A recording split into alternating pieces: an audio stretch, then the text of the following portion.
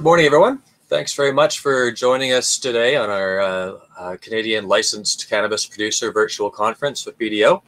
Uh, my name is Brendan Kidd.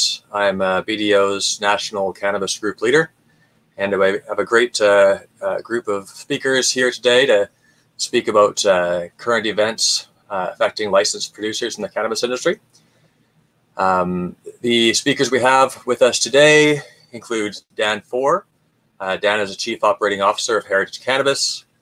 We have Gil Yim, who is the Director of Internal Audit at Tilray. Uh, Melissa Polak is the Senior Director, Enterprise and Risk Assurance with Aurora. We have Thomas Adams, and he is the VP of Finance with Aphria. And last but not least, we have Nathan Mison, who is the co-chair of the National Cannabis Working Group, uh, with, uh, which is a subset of the Canadian Chamber of Commerce. So we're going to start our, our session off today with a fireside chat between myself and, and Nathan. Hi, Nathan. How are you Hi, this morning? How are you? Good, good. Thanks very much for for joining us in this fine morning. Thanks for the opportunity. Yeah. So the, the thing we we're going to chat about um, this morning is uh, is is the issue around ancillary services to the cannabis mm-hmm. industry in Canada. This, you know, I, I, quite often have people reaching out to uh, to me looking for recommendations on banks uh, specifically that uh, that will work with licensed producers and other businesses in the cannabis industry. I'm, I'm curious, um, what what kind of services do you quite often see in short supply um, to participants in the cannabis uh, sector?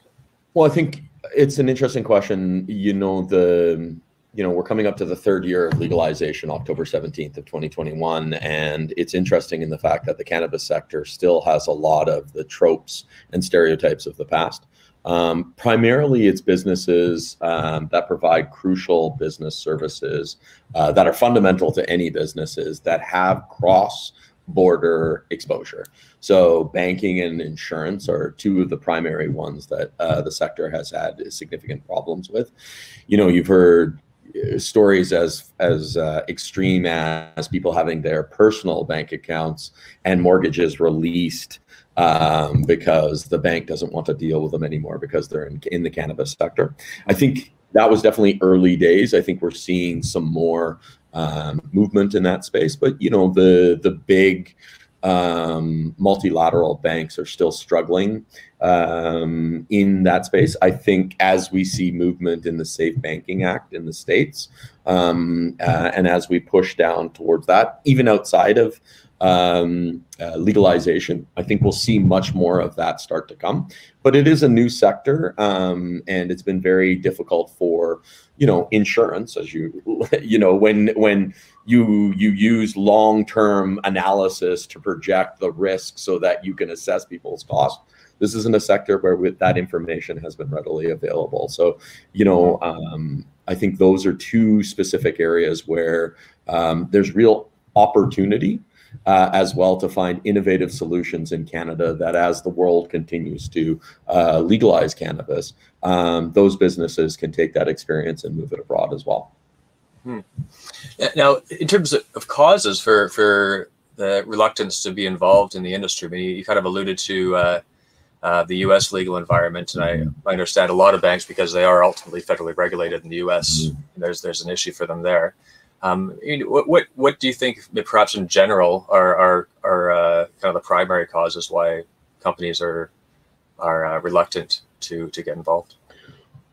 Lack of understanding, you know, the risks, uh, people perceived risks. Um, you know, I, I think it's a real um, when you look at the scrutiny that bank or that the cannabis businesses have to go at the three orders of government between a municipal, provincial, and federal level, um, it, it's unbelievable, right? Like I've had my um, personal information vetted so many times that I feel like I could be a CSIS operator or a CIA operator because I have I should have that level of classified uh, clearance because of how much information they've done. So I think it's interesting in the fact that.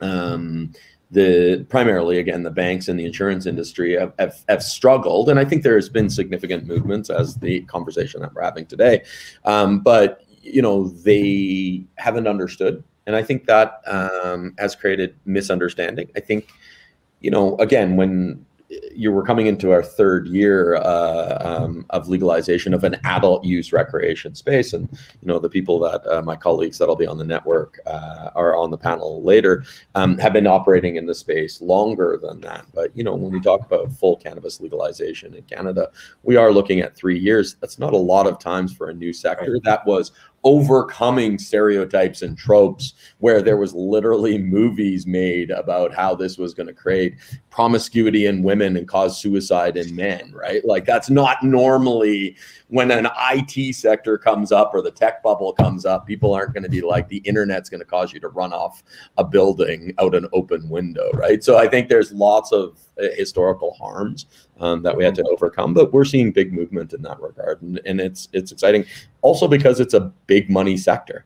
You know, like that, that. That's I think one of the things that's really interesting. Um, StatsCan released uh, some information last week that uh, December of 2021, or sorry, December of 2020, uh, the economic contribution to cannabis to the Canadian economy was 17.9 billion dollars, which is 2.1 billion dollars behind the entire automotive industry in Canada. You know, could you imagine if cannabis got treated a tenth of as well as the automotive industry? You know, mm-hmm. it, it, and when you talk about ancillary businesses, cultivation and retail was estimated um, in January of 2021 is 3.3 billion dollars of economic contribution. So when you take that 17.9 billion and that 3 3.3 uh, billion ancillary businesses make 14.6 billion dollars of economic contribution to the Canadian economy.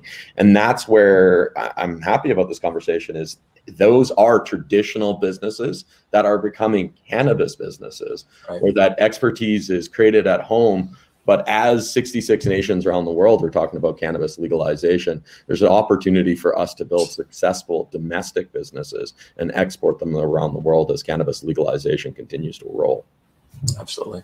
Yeah, I mean, we're, we're certainly seeing that. I mean, with with uh, with our firm um, having been on the forefront of the cannabis industry rolling out here and being a multinational firm, mm-hmm. uh, we're certainly seeing many places around the world where they're reaching out to us because we have so much expertise, having been in the industry for for even five or six years. It's it's uh, uh, valuable in the in the world stage. And how often is it that Canadian businesses are the belle of the ball? Right? Like we don't get to be that very often, right? We're not leading sectors. This is a sector that we are leading. And I think we need to pivot the conversation because we hear so often that Canada has lost its first mover advantage.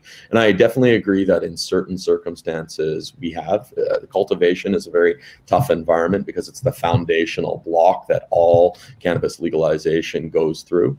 Um, but, you know, we have four of the world's largest cannabis retailers housed in here. We have new businesses that have never exist that provide financial services, building, consulting services, packaging.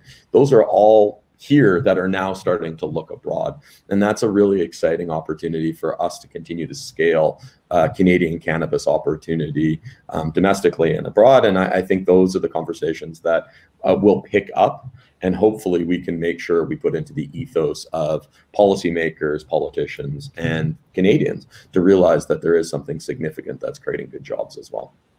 Absolutely.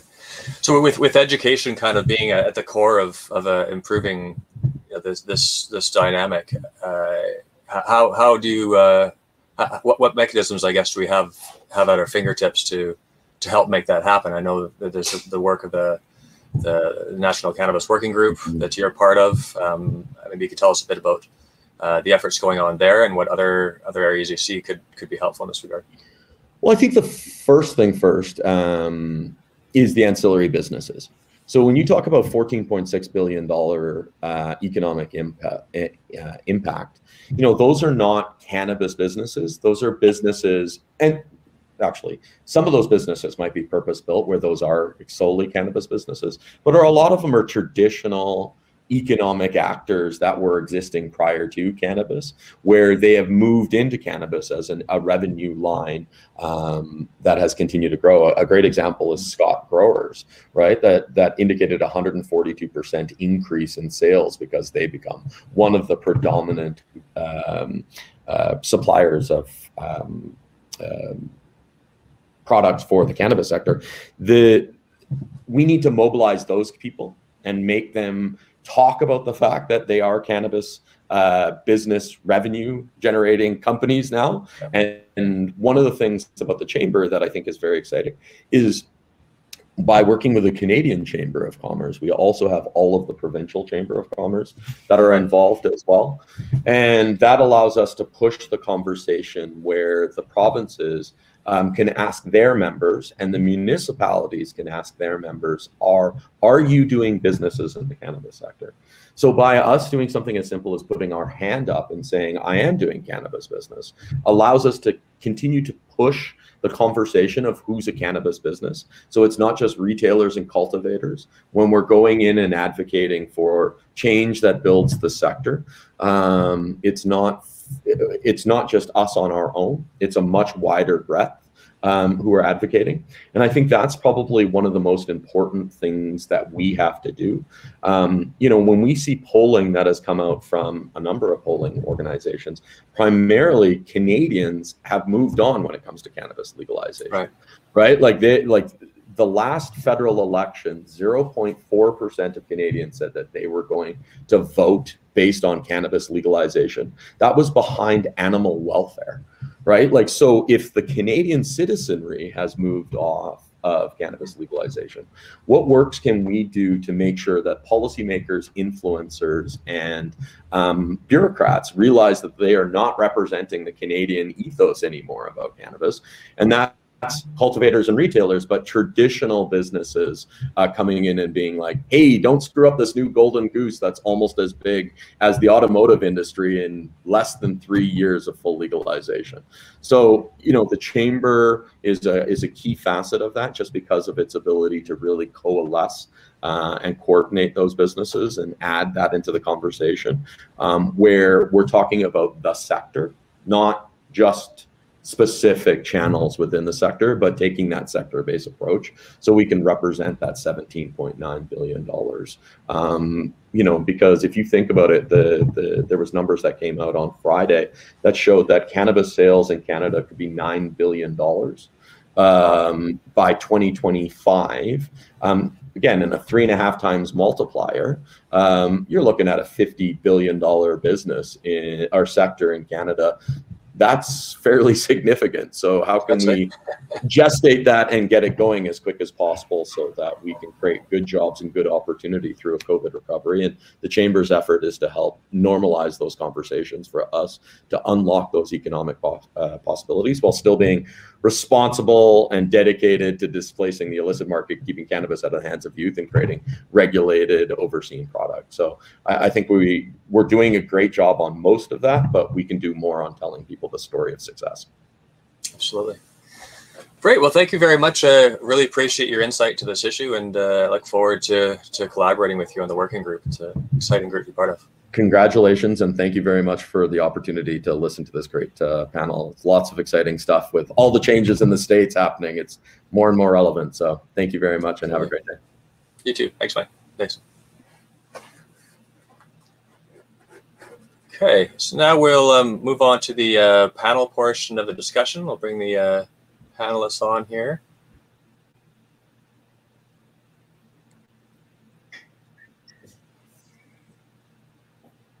Great. Good morning, everyone. Thanks. Thanks very much for uh, for joining us this morning to talk about uh, licensed producers.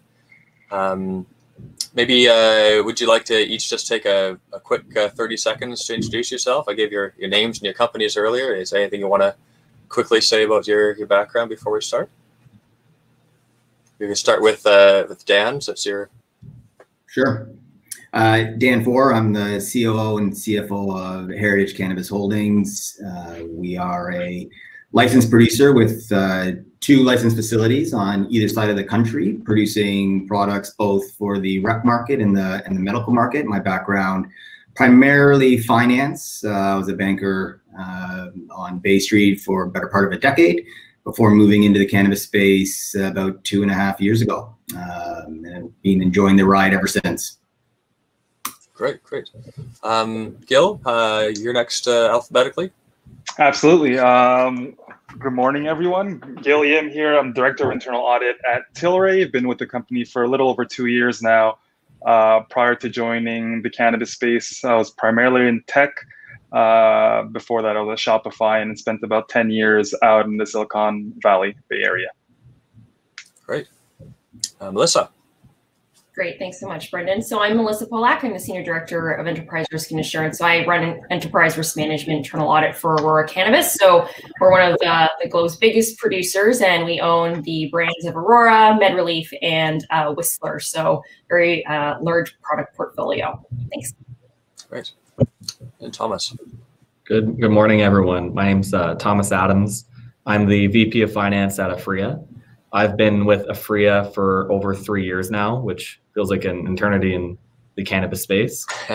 Um, prior to my time at Aphria, I was actually auditing cannabis companies, uh, and and then I switched over to join the other side and, and work within them. Uh, my time at Aphria has seen a huge amount of change, and it's been really incredible to see the industry take shape as it as it's gone for the past three years. So it's been quite quite an experience. Absolutely. Great. Before we get to the questions, just uh, uh, for the audience, um, what we'll be doing uh, following the panel discussion is a is a bit of a Q and A. Um, if you'd like to type your questions in, uh, if you click on stage, which is to your top right, and you'll see within the, the stage section there's chat, polls, and Q and A.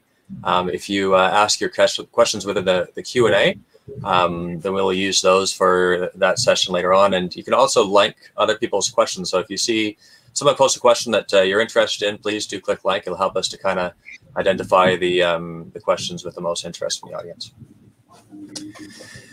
So an interesting time for the cannabis industry, very exciting. Um, I mean, particularly with the, the change in the administration um, in the United States uh, late last year. Uh, that uh, certainly drove uh, a lot of excitement and investor interest in the cannabis industry, which was great because it was uh, kind of a tough uh, year preceding that, and it's nice to be back on top again. Um, I'm curious, what what are your expectations in terms of um, legalization of cannabis at the federal level in the United States? Um, maybe around likelihood and, and timing. Um, anyone want to throw a an estimate out there of what they think is going to happen over the next couple of years? Uh, I'm I'm happy to jump in on there. Um, I know, like we've been watching the U.S. cannabis space for some time as it's kind of been developing. Uh, I find it extremely interesting where it's going to. I think with how many states have now already legalized it in some way, shape, or form, uh, federal legalization is not anymore a question as if, more a question as to when. Personally, um, and I think the the other question that is always very intriguing about the when is how is legalization going to take form? The current structure that we're in right now with these statewide um, in inter or in-state full programs is not like any other industry. And I don't think that it's going to stand the test of time. I think the federal government, once it starts picking up that legalization trend, we're going to see a lot of changes over the coming years. And I think that legalization path is going to be um, a lengthy one that's going to take some times, and there's going to be massive, you know, events that will happen. And I think the first event will be decriminalization of cannabis, and I think that's going to happen within one to two years at the absolute most. Interesting. Yeah, I'd, I'd, uh, I'd, kind of piggyback off what Thomas was saying, and I think the kind of the operative word is years. Um, I, I, think from a federal standpoint, absolutely, it's not a matter of if but when. So I, I do think that that would be, you know, it's probably a, a couple of years away from a federal standpoint, but on a state by state basis, I, I I wouldn't be surprised by early next year that we've seen most of the states fall which means that we're operating amongst 52 different countries in one country um, and trying to navigate that. So I think ultimately it'll be anything but seamless, which is being kind of proven north of the border, but uh, it's coming and it'll it'll come fast. I just not on a, I, I don't see it on a federal level being super fast, though I do agree with the decriminalization within a year or two. I think the decriminalization is going to have some really interesting aspects to it, though, because uh, Brendan, you, you mentioned and you talked about the banking issues that a lot of companies are facing. Decriminalizing that is one of the steps to remove that barrier, but it has other unintended or possibly intended consequences. I'm not, I can't really speak for the government's mindset there. Um, but I'm very interested to see in terms of when that happens, you're now look, looking at um, tax law, which I think a lot of people don't really talk about much, but the current tax regime requires cannabis companies operating in the US to not claim any deductions on any of their expenses because they're dealing in a federally illegal substance. And once you decriminalize that, that goes away. I don't see the, the government that quickly walking away from all that money. I think they're going to start seeing tax reform immediately following that at the same time. Right. And so once that happens, then the next question goes to interstate, like, right? You have this in the 50 countries, right, within one. Um, well, once you have it decriminalized federally, there's no law that prevents you from from working within the different states. Uh, it's kind of the, this state imposed thing that I think you know lobbyists and, and lawyers are going to have a field day challenging and and pushing for changes that are going to take some time as that gets challenged and developed. But though some of those barriers will, uh, I don't want to say go away fully, but will definitely change, right? And you're going to have to start having some competitors that will have to compete nationally rather than just having one state to compete in. Yeah. Yeah, I would. Go ahead, Melissa. Thanks, Gil. I, I, would definitely echo just what Dan and Thomas have been saying. I think when we look at the US, we like to think of it as cautious optimism. Um, the fact of the matter is, like jurisdictionally, they always have more decentralized power at the state level. And so I think when you look at who's actually winning right now in the US, it's a lot of those MSOs that do have larger footprints. But when I think about what will um, benefit the Canadian LPs that are looking to make a play in the US, it's also being able to scale up relatively quickly working with regulators around different types of restrictions around products, distribution, manufacturing. Um, you know, all of those things are, are key skill sets that will be harder to ramp up from the US than if you were coming in as a Canadian LP. However, you know, when we when we think about it, or when I think about it, obviously, because I, I, don't necessarily speak on behalf of the entire Aurora organization, but I, you know, it's it's you feel handcuffed right now because of the fact that if you're a public LP, you cannot venture into the cannabis space in any meaningful way in the US. You're kind of stuck with auxiliary products or things that are only strictly related to CBD, like Reliva. So, um, anyway, sorry, Gil, I, I interrupted you there. No, I was going to say um, I agree with everyone here that I think um, federal legalization is just a matter of time. But what can't be understated and what I think is equally as important is um, how regulatory bodies like the DEA or, or the FDA establishes their position. Um, we've seen it with CBD and hemp, right? FDA has been kind of wishy-washy on on their position on it, causing companies to feel like they're navigating a gray market, and um, that's definitely slowed down the the um, go-to-market strategies of CBD in the U.S. Absolutely for sure. I mean, just on that point too, like what's really interesting is is who will actually regulate cannabis in a lot of ways, right? Like when we look at the US or Canada, sorry, and the fact that Health Canada regulates all cannabis products, whether or not it's a food or a like consumable product. Um, whereas normally you would have, say, CFI or other regulatory bodies, right? So there's just so much that needs to kind of play out logistically with all the different regulators in the US. And given their patchwork model, it will be an interesting challenge. but I think you also have to look at historically, you know, this state MSO model, protectionism over kind of in-state jobs and, and production and all this stuff that's preventing competition from out of state kind of really competing in those markets. I don't think that's sustainable, right? I think legally there's not really a lot of legs to there's it's not a lot of strength to stand on there legally once the federal government decriminalizes it and then you also have to look at all these other larger businesses that have heavy resources around lobbying and all this other stuff that are going to want to get involved beyond the Canadian LPs who are going to also want to be, you know, taking taking a bite out of that as well. And so I look at that and that vertical integration that's currently set up in the MSO models is going to be very hard to sustain long term.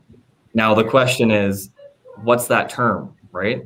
I, I'd say long term, but is that going to be two years? Is that going to be three years? Is that going to be four years?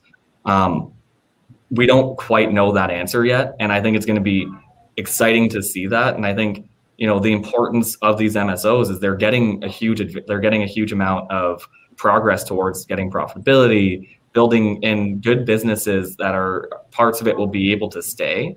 Um, but I'm very interested to see how that develops when this starts to change and how this change is going to unfold.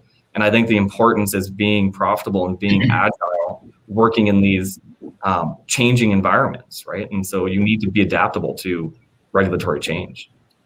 Absolutely. I mean, it, will clearly, you know, there's going to be opportunity with federal legalization, but clearly much complexity.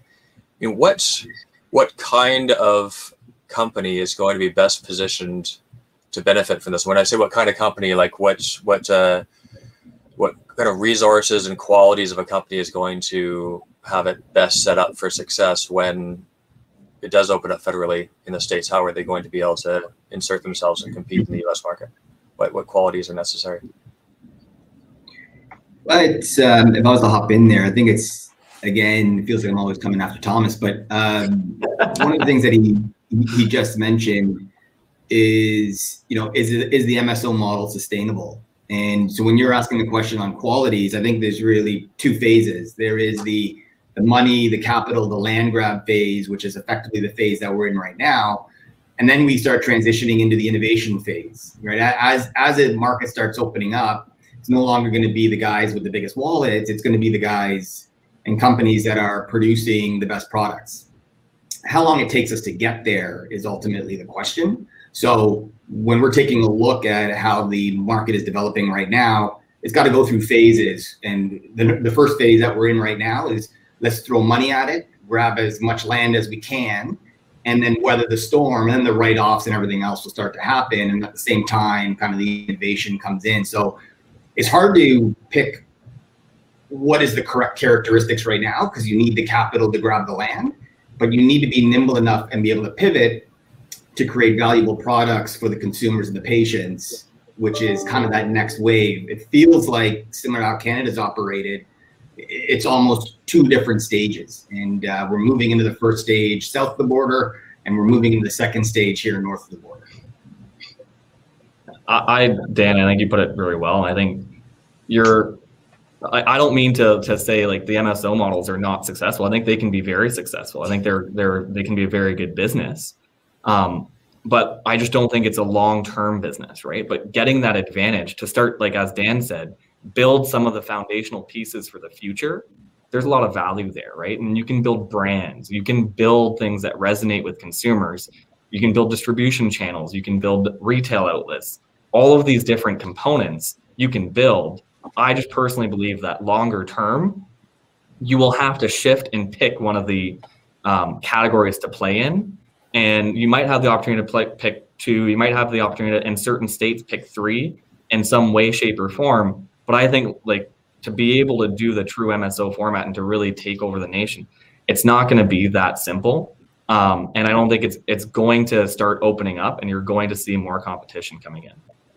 Yeah, absolutely. I think the two things we touched upon is um, infrastructure and branding, and I can't help to think that companies that already have those two things established, such as big alcohol companies, CPGs, tobacco, are going to enter the game once it becomes federally legal, right? So, um, yeah, to your point, I, I only see competition increasing.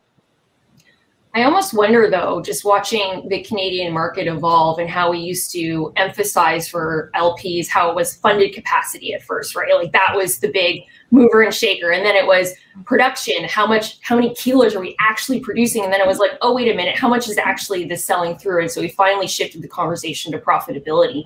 So I definitely think that the capital investment is a huge component of it. There'll have to be, you know, that type of investment in the US, but do we actually leapfrog that a little bit so they don't go through the same growing pains that Canada went through when we were trying to figure it out? And they look towards things that would require less of an actual physical footprint and more ability to just expand at a, a very rapid pace. So I know for us, for instance, we like to prioritize our science portfolio when it comes to genetics because we think about okay, like what's the best way for us to actually have the biggest reach? And in a lot of ways, it's not necessarily building out facilities in each of the states, which likely will have nuanced regulations, but actually licensing out products, right? So there's a bunch of different ways I think you can go at it, and just having the maturity and experience of even half of a decade in Canada, I think that will shift a lot of the conversation in the US where they can kind of take a lot of our lessons learned and not necessarily go through the same challenges that we went through and, and just getting this industry set up. So and and every I think almost every LP now, you know, Aurora, you, are there, Melissa, for at Aurora, seeing how you guys have kind of gone through and your approach to the U.S. Um, we have made our like Aphria and Tilray both made our independent entrances through a U.S. channels in one uh, one way, um, and we're continuing to evaluate different ways of consistently penetrating, consistently eating up that market share, and really getting involved there. Um, but while while playing carefully within the regula- the regulations that's currently allowed and where we believe the future is going to go, right? And so that expectation, I think, changes very quickly. You know, mm-hmm. new things get proposed, new bills get kind of talked about, and you know, another thing that you know doesn't get talked about is the, the social reform, right? I think that's going to be a driving agenda to legalization, and I think um, going back to my my concept on the taxes, you know, when that tax changes and you're going to have this new format of taxation that's going to have to be created to preserve the income for the government, uh, whether they do an excise model similar to alcohol and, and cannabis in the in Canada or something else, you have to build for that. You have to be prepared for that, and your business has to be adaptable to that. And those that ca- that tax savings is, or if there's tax savings or additional taxes, it's going to flow to the ultimate price to the consumer. So the consumers are going to be the ones who are going to also drive a lot of this. And I think that awareness needs to be built in the consumer because they're also the voters. Absolutely. So I mean, the, the U.S. is, is kind of the, the, the big story recently, but I, I think what's uh, been overshadowed a little bit is is the, the growing expansion globally of cannabis legalization. I mean, it seems almost every every week or two you're seeing in the media uh, countries that are um, introducing legalization or announcing that they're working towards it. I mean, Mexico is a big big market. The EU continues to open up. I mean, a lot of opportunity, a lot of big populations um, uh, uh for uh, for companies to enter into. Um, so how, how, how are Canadian LPs looking to to capitalize and, and compete on the on the world stage? Yeah, I mean, I mean go ahead, Gil. No, I, I think um, I speak for Tilray when when I say um, we've definitely been uh, focused on the international international markets. Uh, we built out a facility out in Portugal to act as our, our EU hub. And keep me honest here, guys, but I think there's about 40 countries that have legalized cannabis. And to your point, Brendan, I think every 12 to 18 months, we're seeing a handful of more companies uh, legalize. So we continue to see the uh, the regulatory and legislative landscape changing, and I don't think that's a fad. I think it's a trend that's going to continue, um, and it, it's an area that we're very much focused on because um, the cost of cannabis is in certain cases much higher in international markets. So there's definitely uh, a profitability play there as well. Yeah, it's a. Go on. Okay, thank you. Thanks. Um, I was just going to like piggyback off Gil and say I agree. I think a lot of the big players do already have a presence internationally. I think you know it's kind of less sexy than the U.S. in a lot of ways, just because it is focused more on medical, generally really restricted, generally very centrally regulated and distributed. So um, I think it's sort of been like a bit of a low murmur that you know at the same time, even though we do see new countries come on, they're definitely doing so cautiously. Um, but I, I, do think they're also looking to Canada to see how those markets develop in terms of waiting past medical and looking more at recreational legalization. Yeah, it's you know from my perspective over at, at Heritage in terms of how we take a look at the market, there there Nathan mentioned there's 66 countries that are in discussion on on legalizing right? It feels like every every week there's another country. It's very unless you've got very very deep pockets and you just want to splash.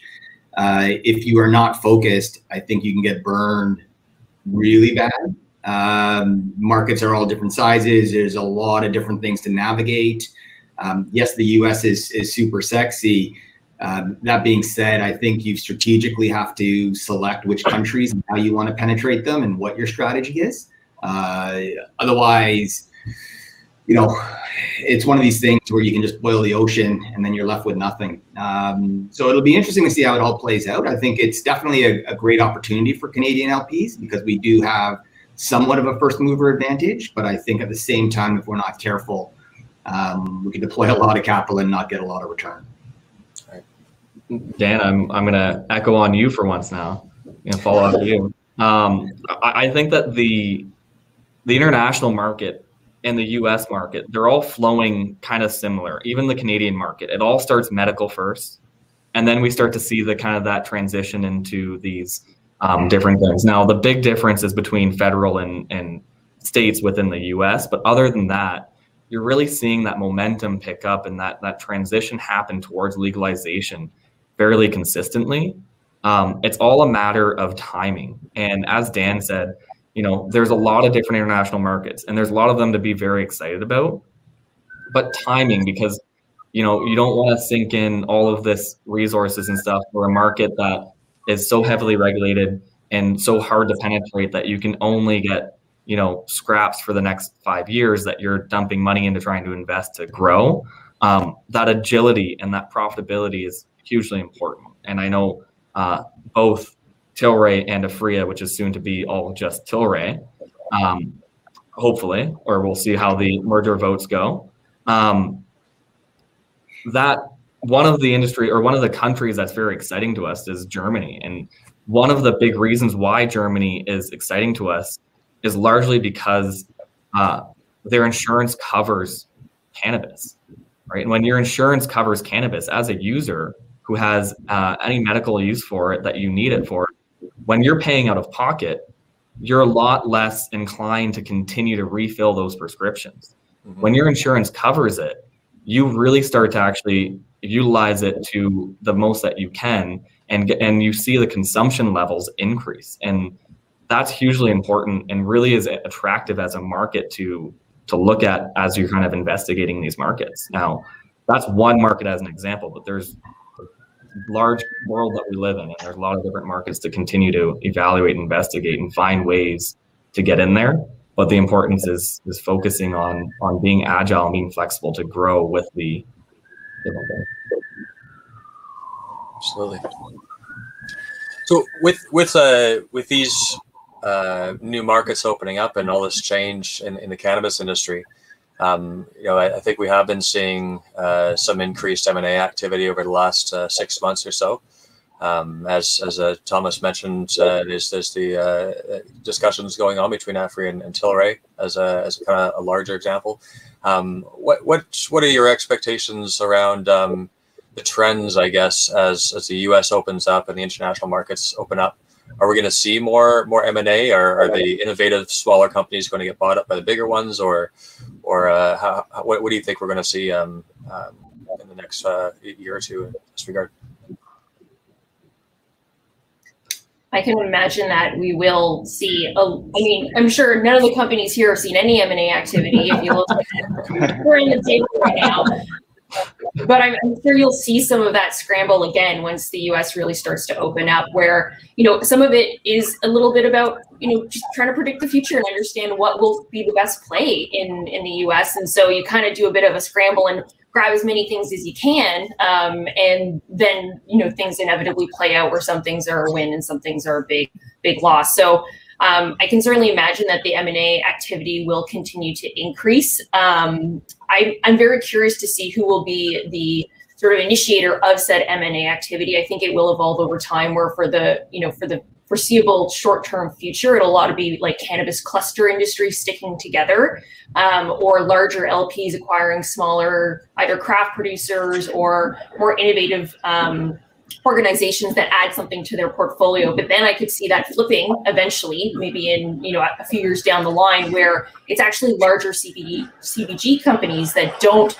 historically have a base in cannabis that are then going to start absorbing a lot of the cannabis larger players as well. So I think it will evolve over time, but I'm sure we'll start to see kind of a similar flurry in the US as we saw in Canada at the, at the get go. So.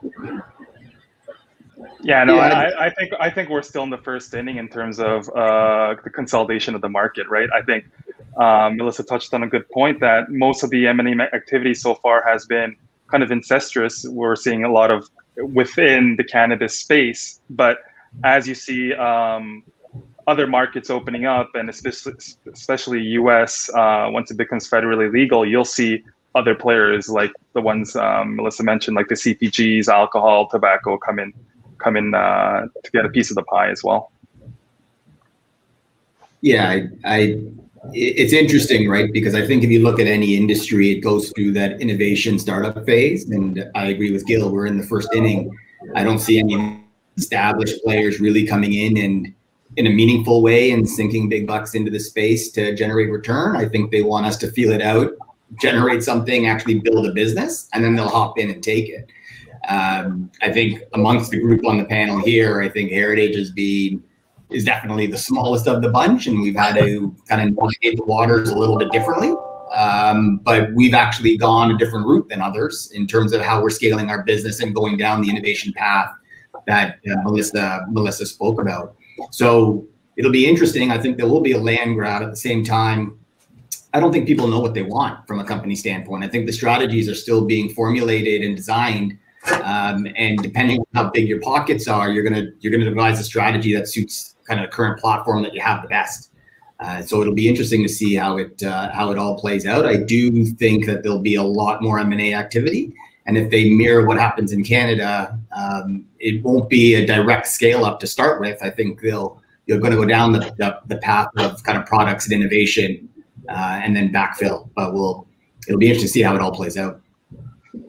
I think you know there there already has been. If you look back since the inception of really the legalization in Canada and the market and has its how it's developed, we've already seen some of the big players take dip their toes in, if you will, with Altria's investment in Cronos, Canopy, uh, or Constellation's investment in Canopy, and you know Aphria has taken part in several you know mergers and acquisitions throughout the three years that we've been there and the most recent being our, our investment in Sweetwater, the alcohol company, and where we're buying an alcohol company in the U.S.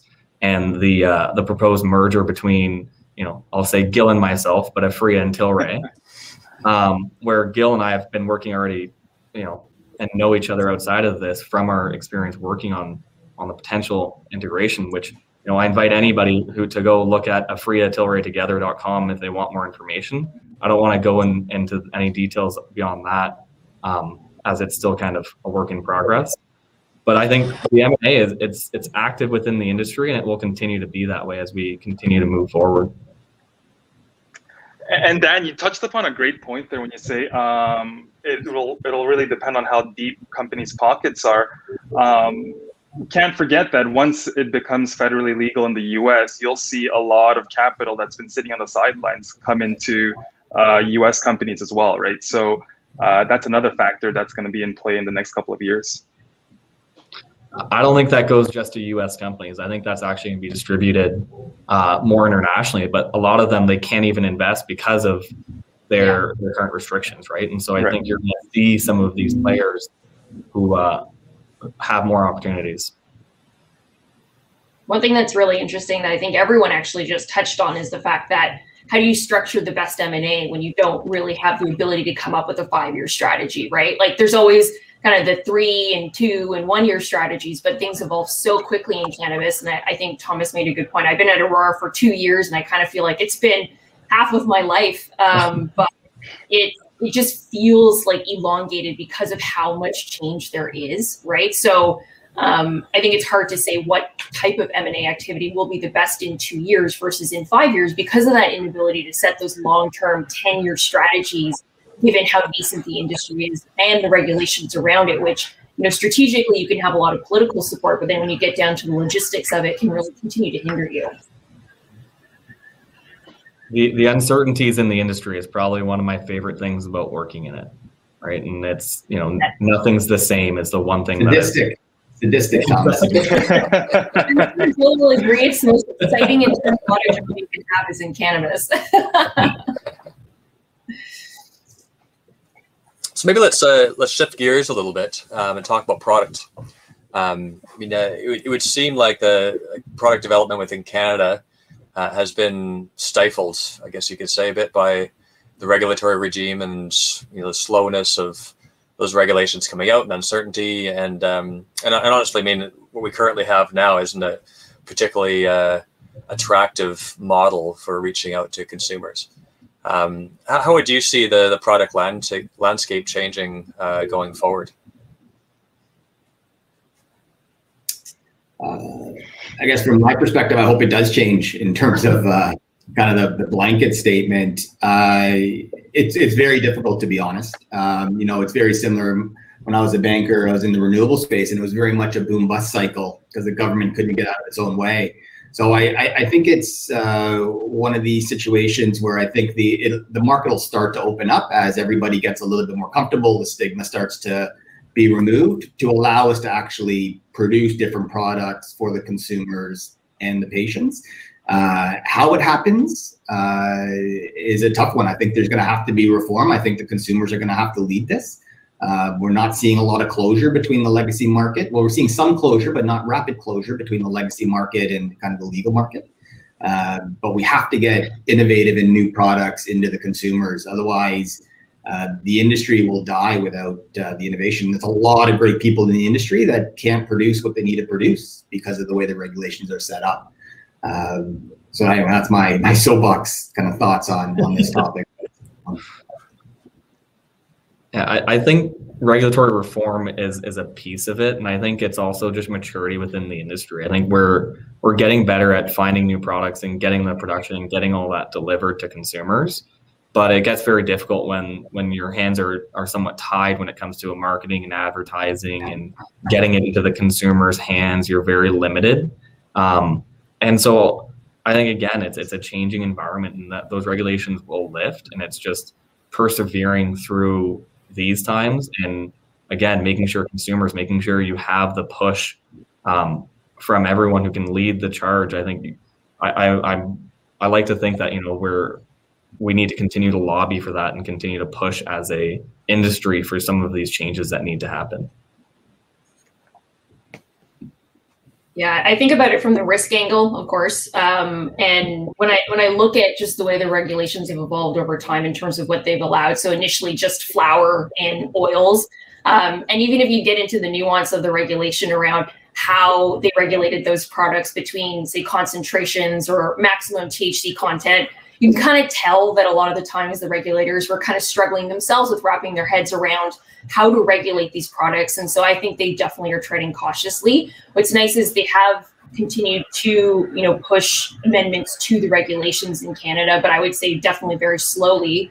So even with the 2.0 launch, where you're allowed to, you know, produce more derivatives and edibles and and things, it it one of our best sellers is a live resin that we can't keep on the shelves because there's so much demand for it, but it's so barely allowed that, you know, in terms of our producing it, it we've been really constricted in the ability to just really scale that up. So um, I think Thomas also touched on a really good point. A lot of it is how do you get those products into the hands of, you know, adult consumers and um, between marketing restrictions, packaging restrictions, like some of these packaging things, like I can't even open them myself and like we had to do the quality assurance testing on it. So it's, it is funny to to see you know how I guess handcuffed again we are when it comes to the ability to market the products, even compared to alcohols and tobaccos, where you know we're not even allowed to run like ad campaigns in adult only magazines.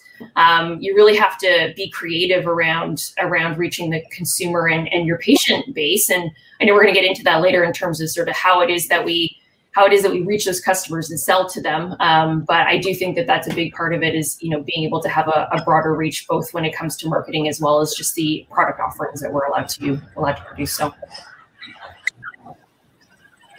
Yeah, I think the regulators are, are working to try and fix that themselves, though. Like as Melissa, as you said, like they're they're also in the dark. So I think you know we got to give them credit for for all the work they've put to try and make this a um, success. I don't think they're they're doing it intentionally. And I think it's just something that um, that really comes from communication, right? And understanding, hey, this is not working, this is, and continuing to work with regulators to make that better for the consumers. Yeah.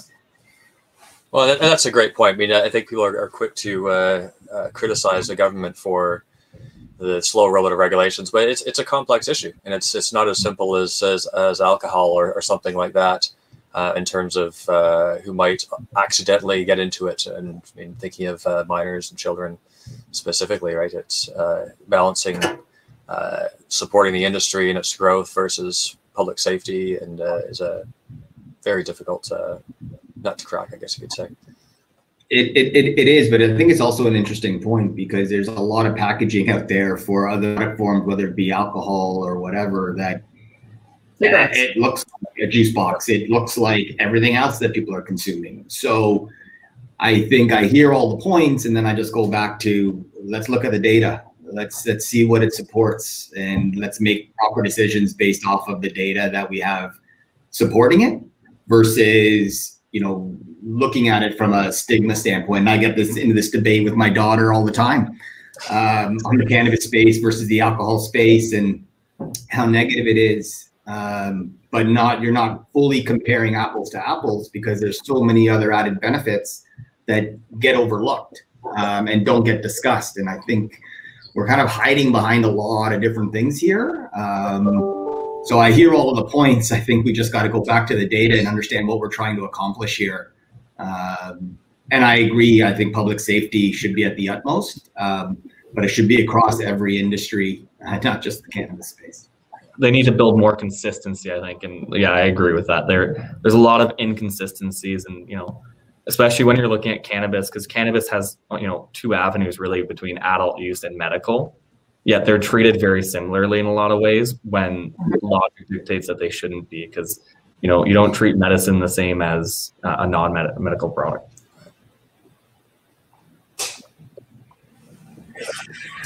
Well let's let's talk about um, uh, that that ultimate um, connection with the with the consumer. You know the, the retail model has been evolving and growing very rapidly over the last uh, last year year or so in particular um, and COVID, ironically, has been a, a great, great uh, accelerator for the for the retail sector in in uh, Canada.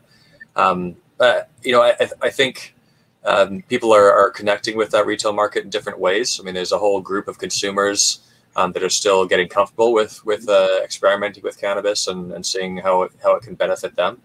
Um, and not all those people are interested in, in, necessarily going to a physical shop. They might want to look at it online and kind of order it from the privacy of their own home.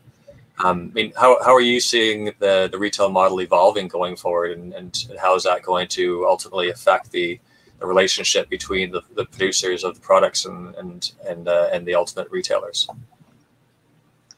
I, I, think there's still a level of stigma attached to going to a re- physical retail store. I mean, um, it's almost like for those of you that are old enough to remember uh, video stores, it's almost like seeing like the adult section in the back of the video store where everything is cordoned off. You can't see what's in there um, you kind of look over your shoulder to see if anyone's seeing you go in there. Um, so there's definitely needs to be some level of education with the consumers, and uh, we need to slowly break down that barrier of having that stigma attached to cannabis and, uh, and cannabis retail stores as well. It's a good, a good point you make. You wonder why, like, you have to frost the glass for cannabis stores, but you don't for alcohol distributors. Right. I, um, I, when I think about what will be the most successful, I think it will be moving towards a platform that is really, truly omni-channel, similar to a lot of, a lot of the larger CPG companies, so that it's not like you have to go to one website for medical and then a government website for recreational, and then you go into brick and mortar stores. You don't really know what's there I think the more that LPs and the regulators can work together to create some type of way of, I, I, know, for instance, when I look for a specific type of scotch, for instance, I can go to the manufacturer's website. They will give me a list of distributors. I can then go to a provincial store and figure out which stores locally actually carry that product. And so I think that will be a key component to actually being able to bring people's preferred products to them so that they're not going around and searching and, and it's essentially creating like a bit of a mystery box in terms of how it is that you can buy your product because of the availability. So um, I, I certainly think that kind of moving away from that kind of legacy platform of just like clicking and buying across five different ways, which I agree as well with Gil's point that there's a bigger stigma because not everyone wants to walk into a store, not everyone wants to enter their personal information into five different platforms. Um, I think all of that will reduce barriers to consumers, both on the medical as well as on the adult use side. So. I think you know, and there's a lack of availability in retail stores, specifically in Ontario, and they're working to to fix that issue. Um, but again, you're you're creating these retail stores which are still going to be hindered by the fact that you don't have the ability to show your product and see what's on the shelf and get a clear understanding. But as of right now, you know, going back to our previous point, even if you could, you're just seeing warning labels after warning label after warning label. It's hard to tell the difference sometimes between them. And so I think that's the, it's education of the consumers. Uh, it's improvements from regulations. It's education of the um, retailers as well to like help, you know, how do retailers manage within this very difficult environment to to, to help because they're the frontline staff with your consumer right? And so you know your retailers are so incredibly important in terms of from an education piece to educate users um, not only in terms of what the product that they have available, but on the environment, and what we're trying to do, why they're having to sign their name five times and things like that, and get some some public push behind some. Yeah, I think it's really interesting because when you go into a dispensary, for the most part, 90% of the product is behind the counter. You can't see it, you can't touch it, you can't read about it. So, so much of our sales, getting our message out, is left to the dispensaries, and they can only absorb so much material. Um, so, with our hands tied, we can't actually effectively, properly market or discuss any of our products. And now it's left into the hands of the dispensaries, and they're doing the best that they can, but they can't be out there promoting 500 companies' products. Uh, just not feasible. So until we can actually change that part of the landscape and open up the LPs to allow us to discuss their products, we're kind of really uh, handcuffing the whole industry because we're putting it in the hands of dispensaries to get the message out. It's tough on them. Well, it comes back to the point uh, when I was talking to Nathan earlier on about education. Yeah. You know, education the, pub- the public and, and the, the standard setters and, and all those groups to help people understand what's out there and, and how it can benefit them. I'm hoping the National Cannabis Working Group can help help push for some of these changes and, and really continuing to advocate for these important parts of the cannabis industry. Absolutely. Okay, maybe uh, one last question um, before we move on to some of the, the Q and A. We've got some great uh, questions flowing into the Q and A. Um, so maybe looking looking forward a few years, um, and uh, no one has a crystal ball, of course, and uh, you know a few years is an eternity in the cannabis industry. But but you know once once we have a, a fully legal uh, cannabis industry throughout North America, um, you know which which maybe not that far off. We have Mexico already moving towards that, um, and the U.S. You know within the next year or two how's that going to change the market dynamics within North America? Are we going to see cannabis move towards more of a traditional agriculture kind of a play, or or how, how is how is that going to um, kind of change how how um, the, the markets uh, interact with each other? I think, like I mentioned when we were talking about the U.S. cannabis, I think you know the U.S. is again going through those progressions, and I think ultimately we're going to end up seeing that you know interstate so the entire you're gonna have national chains of cannabis companies um, in some way shape or form i think you're gonna see the same uh, flow within canada us and mexico and really it's going to continue to expand globally but it's going to take a very long time right? And that's go- not going to not something that's going to happen very quickly. It, there's a lot of politics that go behind those decisions and a lot of other things that are factors that are going to be rolled into that. And so I think that's not something, you know, that's really high, I think, on anybody's priority list right now. I think right now is getting it right within each country, getting it understood, and starting to get those regulations more figured out and ironed out. And then you're going to start to see that develop. And but I think that global, like a lot of things have moved to a more global economy, and I think that it's going to continue to develop that way with certain restrictions and things that will kind of you know speed bumps if you will that will get in the way but it's still going to open up channels in a big way and i think you're going to see that develop over time. I think one thing that you see now, um, and much to your discussion with with Nathan earlier around those um, service industries that support cannabis and the fact that those are now starting to grow, you're starting to see a lot more revenue come in from both, say, professional services as well as other types of services like um, Scott's Grow. I think was the one that he had referred to.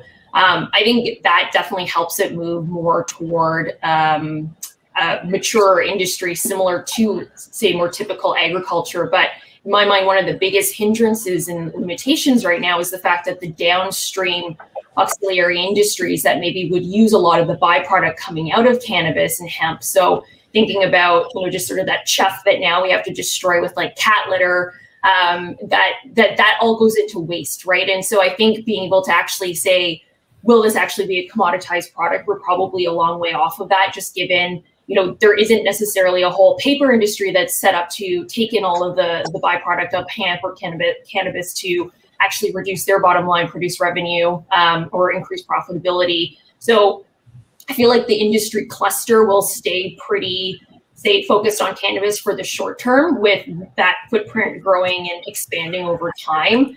Um, but it's just something that, you know, I think it, we're, we're ways off before we start seeing, say, downstream manufacturers or specific, say, capital equipment companies building things for cannabis cultivation.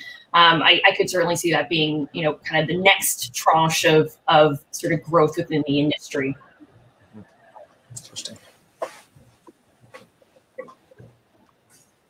Okay, well, maybe we'll move on to the, the Q&A portion now. Um, so we've got a, a few questions uh, in the feed already, and uh, just remind the audience, if you uh, do want to pose a question to the panel, please put it into the Q&A section um, and the, on the stage tab uh, to your to your far top right um, on your screen. Um, so the first question I'll, uh, I'll put to you, got a couple of links on this one. Um, what challenges are posed with the growing movement to legitimize the First Nations uh, cannabis industry? Uh, thank you, Lauren Keatley, for that question.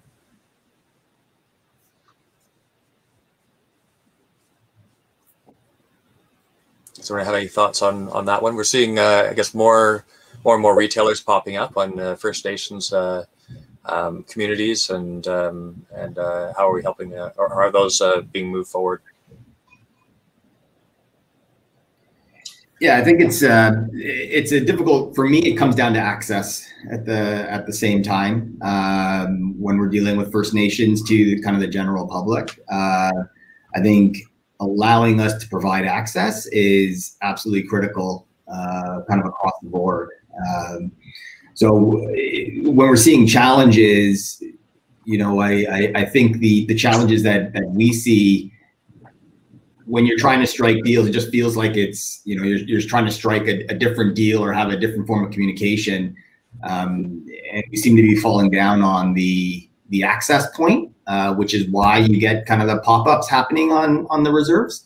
Uh, so hopefully, you know, we can kind of start to eliminate that as well. But that seems to be a kind of an issue again across number of industries, not just not just cannabis. Um, so it's uh, you know I think it's it's a it's a time play as well uh, from from my perspective. And I, I think it's also um, some of the challenges are understanding what legislative uh, bodies or what legislation kind of dictates how you can uh, how and what you can uh, provide to these First Nations. Um, because I, in a lot of cases, I think I think um, these geographies have kind of their own bylaws and don't necessarily follow what um, Canada does or Health Canada uh, dictates. So navigating those legislative and regulatory landscape is part of the challenge here as well. I wonder um, maybe if the question was also just touching on, say, Indigenous LPs or producers themselves. I think one lovely thing that I've seen across, um, say, the cannabis space when it comes to Indigenous organizations is um, just the fact that you know they are i think being creative in terms of how it is that they're using the resources available to them either it be land or different types of um, say tax or other regulatory programs that provide them with a slightly different or more nuanced regulatory structure in terms of how they can run businesses versus how say the more traditional sectors or private companies run businesses. And so um, i certainly think it is you know a complex area to try to navigate but at the same time i do think that they um, could definitely leapfrog a lot of the more, you know, say traditional LPs in, in Canada um, through creativity and through just, you know, I would say entrepreneurial spirit for sure. Yeah, and I, I agree, Melissa. I think that opportunity is there. And, you know, ultimately the industry as a whole needs to continue to grow. And, and our biggest competition is really the uh, legacy market and, and taking away share there and getting ability to grow the cannabis industry as a whole. Right. And so I think that's ultimately the, the biggest thing that needs to happen to make sure the pie is big enough for everyone to share. Okay, let's move on to the next question. So this one's around innovation. Um, so uh, the question is, uh, how do you keep up with the pace of product innovation in new markets? Certainly, uh, as we as we talked about earlier, a very important topic for for cannabis companies. So, so how do you stay cutting edge? I think you know you have to keep looking at you know it starts with the cannabis plant and you have to start looking at new strains and new new formats and that's breeding different plants together and consistently finding new product offerings from there and then growing into new formats that you can look into doing. And you know the hardest thing to get over there i think we already touched on was really the regulatory restrictions we have right? And so you know we try a lot of different products and you know there's so much restriction on what you can and can't do that as melissa talked about with you know their product there's a lot of products that are very difficult and get very close to making it to market and are maybe ready to be made to market but we need the regulatory approvals to get there. Um, and those are very difficult hurdles to overcome, right? And so that's, I think, what I believe is the hardest thing to to deal with within the Canadian cannabis space. Um, but there's still room for for finding new products and, and continuing to look for those new derivatives and get ready for it. And then it's just trying to continue to push the government to allow the regula- regulations to release those products to the public.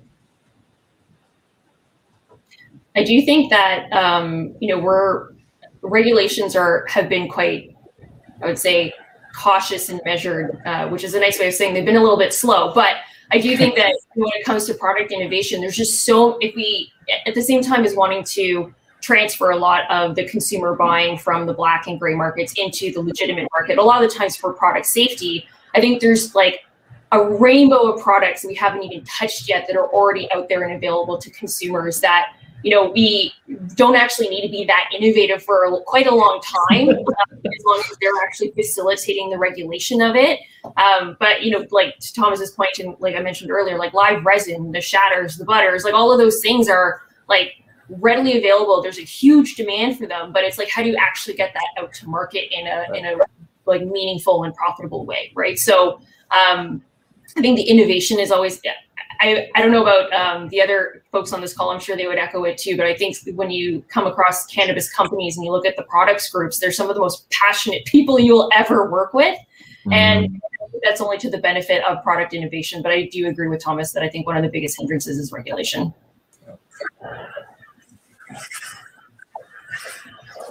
Okay, let's move on to uh, another question here. This one is also um, along the lines of uh, innovation. So thank you, uh, Peter Graff, for this question.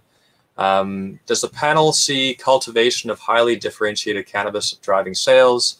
Does product innovation include genomic breeding and expansion of breeding programs as we see with traditional crops? So I, I think the short answer is yes. Um, but again, to Melissa's previous point, from an innovation standpoint, there's still a massive window here that we haven't actually even penetrated yet. I do I do agree with kind of creating new strains, crossbreeding, and developing new products is going to be coming. There's we're still early days on actually driving through the products that are currently in the marketplace.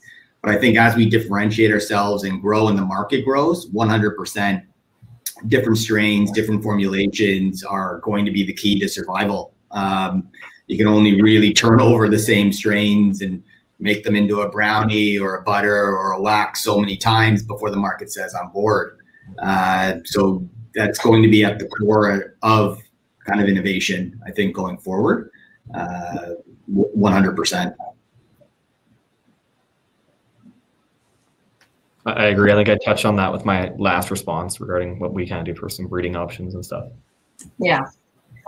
I think we're a long ways off before that type of differentiation will really play out in the market in a meaningful way with consumers. There's still a lot of education that needs to happen. Um, I could certainly see the genetics being beneficial to the actual cultivators themselves in terms of producing higher yields, shorter turn times, um, higher you know terpene and THC contents and things like that. Um, but when it gets down into the market, I think we're quite a ways off before that is really completely understood by all consumers and patients. Okay, maybe a slightly different topic. Um, I think this one's looking for a comparison to the cannabis industry, but uh, the question, uh, thank you, Rhonda Walker, um, is uh, what are current marketing and advertising regulations for alcohol and cigarettes? Um, so um, I, I, think perhaps the question is looking for like, how does it compare to what's being done the, uh, with the regulations in the cannabis industry?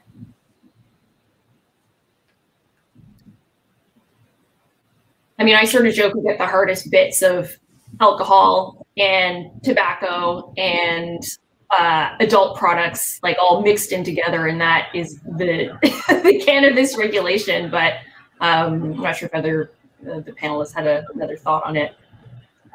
I'd say you know the closest that we relate to is closer to the tobacco with the warning labor labels and all of these cautionary things but tobacco has more touch points where it's easier to access. You don't have to sign in to something. So cannabis is is really a step up from the most comparable thing with even more restrictions and and difficulties. I think getting to the consumers.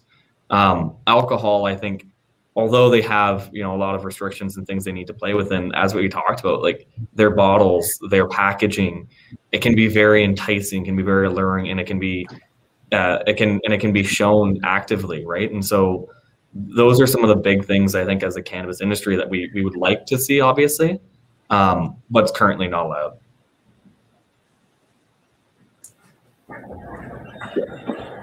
Okay. Um, next question here is uh, going back to our conversation about legalization in the U.S. Um, so the question is, uh, do you think legalization in the U.S. will affect your pricing strategy? How can Canadian LPs best prepare themselves to compete against the anticipated new entrants? I, I, think US is probably one of my favorite topics, to be honest. I think it's one that we get talked on or touched on the most, and uh, it, it's probably, I believe, one of the closest to fruition. Um, and so I think the US legalizing doesn't really impact the Canadian marketplace as much um, as it impacts the Canadian players who can now participate in the US market. The US marketplace, I think you're not going to see as much of them coming over to us as much as you're going to see them being able to expand how they compete, as I talked about with the barrier starting to, to transpose. So I don't think you're going to see pricing changing really or impacting pricing in Canada. However, in the US, you know, if depending on the form that legalization happens, if there's going to be a reduction in the tax or a change in the tax laws, and if they don't implement a equal or greater penalty in terms of an excise form, then you're going to see cost savings from every producer that will then likely trickle its way down into the price, and that's where you're going to see more of that price compression um, happening in the U.S., which isn't really going to be impacting margins and that as much at the bottom line, but it will kind of change your top line growth that you're in your, your gross margins you're recognizing near the top.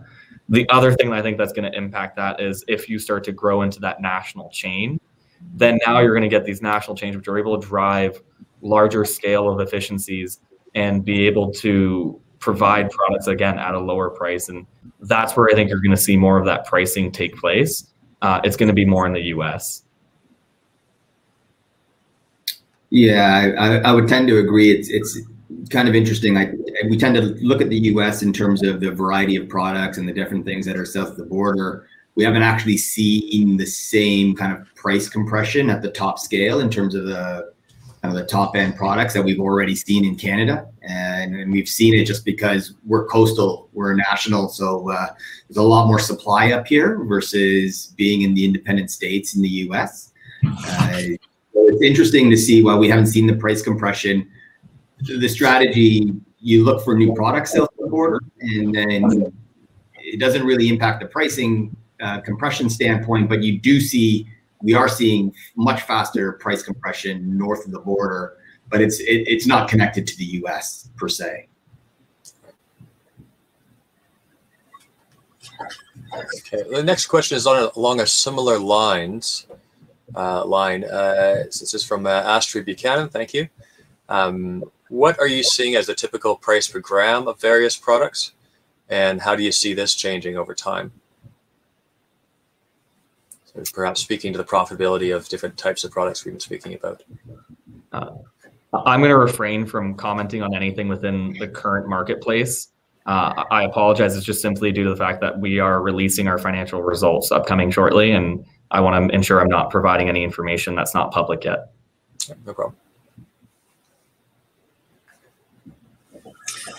Brendan, do you know if they were referring to cost per gram, like around production, or like like sale price per gram? Um, it says price per gram, so I'm I'm I'm assuming this question is more on the on the revenue side and the sales side, Hmm. and uh, perhaps uh, as it relates to uh, how that factors into the different products that are um, on offer. I think, I mean, just, you know, similar to Thomas treading cautiously, not commenting too directly on any one portfolio. I, I think you see that um, our price per gram is still higher than the black and gray market, which is a huge hindrance for sure. Um, sometimes it's pretty close, like where you're getting, you know, kind of a similar cost per gram at the individual gram level. But I think where we, again, are quite hindered by regulation is the ability to provide, say, um, volume discounts on larger purchases, um, like you would see in, in the black or gray market when you're purchasing those types of like, you know, quarters or halves and things like that. So um, I, I, certainly think that that's probably an area where there's still a lot of opportunity for growth. If you look at, say, OCS numbers, um, they do publish a lot of stats around cost per gram. I think there's still, in my mind, probably tiers to pricing where you have kind of middle market, which is where a lot of folks play. There's the value brands and the discount brands, which are much lower. And then there's a very small subset of the really high premium brands that I would say are still very niche market.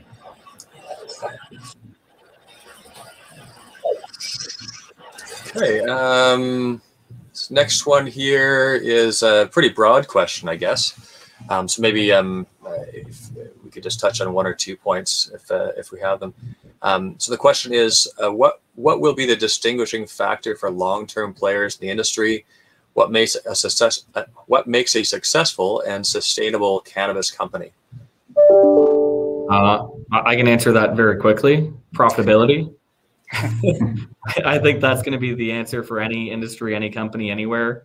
You know, um, the key ultimately is going to come down to who can make, who can turn a profit, and who can um, do that. You know, there's multiple, multiple ways of kind of getting to that, right? And so, um, but ultimately, it's going to come down to profits.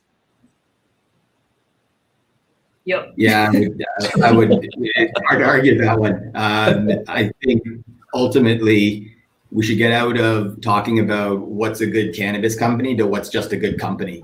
And yes. it goes back to profitability. And that's exactly how we're running the business. And many of the guys, many of the people on the call are doing the exact same thing. Um, it's an interesting, it's an interesting question where somebody watching us is asking, what do we have to do to create a good company? And there's lots of great companies out there, profitability, cash flow, uh, good corporate governance. There's there's a lot of different metrics that we should be judged by, uh, and they shouldn't be any different for us because we're a cannabis company. I think the one thing that I think is uh, which makes it difficult for investors is really because of the opportunities that exist before us, right? Um, there's going to be a lot of growth. There's going to be a lot of changing in the in the regulatory environments and, and everything that's going to be happening.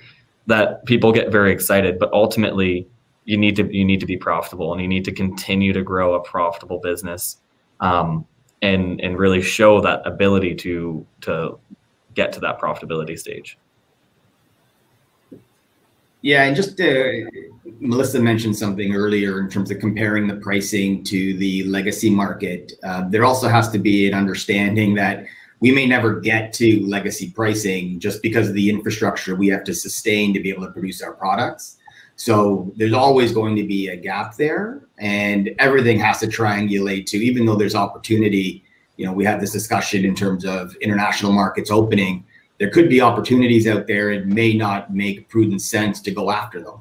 Um, and having some of that, I think the the cannabis space is being um, blessed with uh, a lot of capital and access to capital in the early days not necessarily and, and, that's been really kind of that first transition moving into the land grab and now we're moving into the second phase which is to uh, kind of profitability and building a business uh, so i think that people have to start changing how they think about this sector um, because the the old guard is uh, it's different now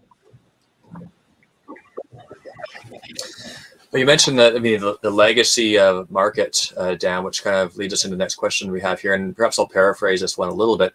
Um, so the question is around, um, you know, those, those legacy uh, um, companies and, um, you know, uh, it's, it's asking if there's anything that the legal producers are trying to do um, uh, to, as I said, to do anything about um, those companies in terms of what's on offer out, out in the market. And, and I know that in, in, discussions I've had with various people, um, there's a lot of uh, education still to be done, I guess, around what is legal and what isn't, especially when you're ordering online.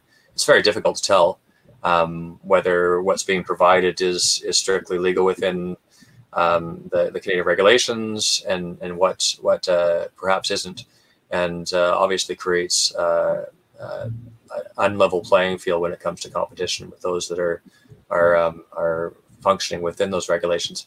So, is there anything that that um, is is being done to try to um, move those those participants out of the market, or is that just uh, something that just needs to be dealt with on a competitive basis? I don't think it's necessarily really purely a competitive basis because I think ultimately it's an education and it, it's really helping within the regulations to separate that because you know, as Dan mentioned previously, you know, that price difference between regulated and unregulated is always going to be a thing because you're paying for regulation, right? And so that's additional cost that has to pass down to the consumers. But what it does is it provides consumers with a safe, reliable, trusted product that they can use. That's also consistent, right? And so that's how, as a as a competitive landscape, how we combat that is we continue to provide good, high quality product that is trusted and reliable and continue to build brands that are that resonate with consumers with with those in mind um, and ultimately then you're you also need the government to to help and, and shut down and, and push back against some of these illegal um, markets and, and and fight that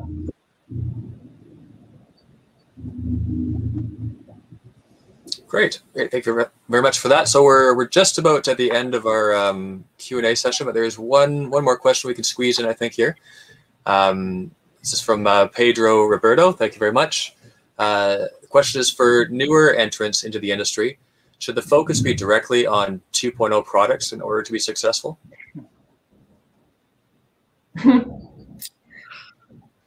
I think it's you know ultimately the same with any business, right? You don't focus necessarily. People are, are very much looking at, you know, this product's better than this product as it matters in terms of derivatives or formats and things like that. Ultimately, the consumer decides, right? And so you're looking for creating a business that can be profitable, that can be sustained, and that can be grown. Um, and if that means that you're going to be carving a niche in the 2.0 products and looking at that, you know, you look at things that you would look at in any other business. What's your consumer base? Is it growing? Is it what market is it competing with? Is it taking market share? Those are the things that you look at when you're evaluating these businesses. You don't. It's not as it's not as simple as just to say, let's go for 2.0 products and we'll be successful, or let's not. It's very much um, different pieces of a large, very large. What what was it? I think it was 17.9 billion dollar business which you can attack, right? And it can be directly in the cannabis um, production or cannabis products, or it can be in the ancillary businesses. It can be in all of the different um, things that will kind of continue on with it. I think you can have a successful business in any area of the cannabis industry. It's really about thinking, you know, what is your operating model going to look like and how can you play to your own strengths? So I, I think it's hard to say you should just focus on 2.0 or mm-hmm. just focus on cultivation. I think it really, you need to look at your, your own circumstances and figure out where you're going to be able to make the biggest impact. So. Excellent. Okay, uh, well, that ends our Q and A session. So now, what we're going to do is um, we have a, a networking uh, period available, um, and the way this works on our Hopin platform here is, is a, if everyone looks to the far left of their screen, they'll see a little icon with networking um, below it. If you click on that and move into the networking area of the platform, the way it works is it uh, essentially sets up a kind of a speed dating, a, a two minute um, uh, interaction between yourself and another person that's in the networking session. So um, anyone interested in, in moving into that networking session, we'll, we'll do that in just a moment. Um, guys, uh, thank you very much for uh, for participating in the panel today. It's been really uh, insightful and interesting. I hope uh, the audience has enjoyed as much as I have, and uh, I look forward to to uh, speaking with all of you again sometime. Thank you. Thank, Thank you. you, Really appreciate the opportunity to take part in this panel and, and appreciate Yeah, Yeah, Absolutely. great time with all of you too. Thank you very much. Thanks, everyone. guys. Bye. Bye.